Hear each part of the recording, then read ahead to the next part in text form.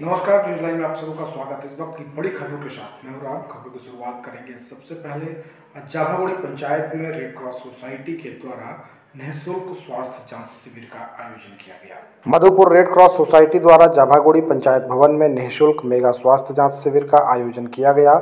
शिविर में सैकड़ों की संख्या में महिला ग्रामीण पुरुषों की स्वास्थ्य जाँच की गई। वह निःशुल्क दवा का वितरण किया गया।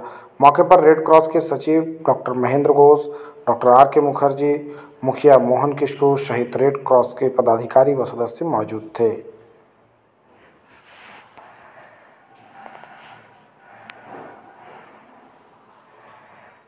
ये जो हमारे मेगा स्वास्थ्य जाँच शिविर आज जो हम लगाए हुए हैं जावागुरी पंचायत भवन में, पंचायत सचिवालय में, ये सभी वर्ग के लिए हर तरह का बीमारी का इलाज हमारे डॉक्टर के दल आए हुए हैं। और मुफ़्त दवाएँ और स्वास्थ्य जाँच शिविर और जागरूकता अभियान के तहत उन्हें मुहैया करा जा रहा है कि आप लोग भी जागरूक तो हो और स्वास्थ्य अपना संबंध अच्छा रखें।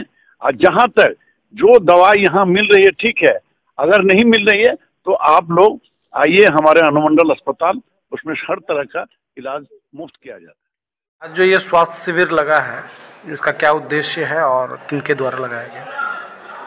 ये भारतीय रेड क्रॉस सोसाइटी के अनुमंडल शाखा के सौजन्य से हम लोग मधुपुर अनुमंडल के विभिन्न प्रखंडों में प्रत्येक माह स्वास्थ्य जाँच शिविर लगाते हैं और इस शिविर का जो भी व्यय होता है, वो हमारे कोई ना कोई एक मेंबर स्पॉन्सर करते हैं। जिस तरीके से आज जाबागुड़ी पंचायत में हम लोग स्वास्थ्य शिविर लगाए हैं, उसके प्रायोजक हैं रंजन सिन्हा जी, जो रिटायर्ड बैंक मैनेजर हैं मधुपुर के।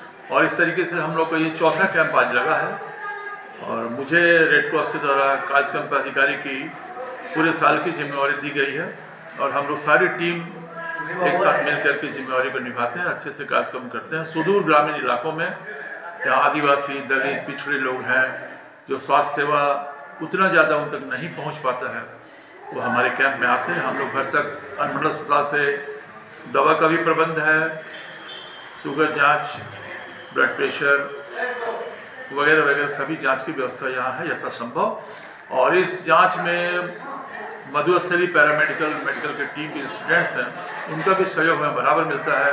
डॉक्टर आर के मुखर्जी हैं, आज के कैंप में हैं, बराबर वो भी रहते हैं। और डॉक्टर सुभाष पंडित हैं अनुमंडल हॉस्पिटल से।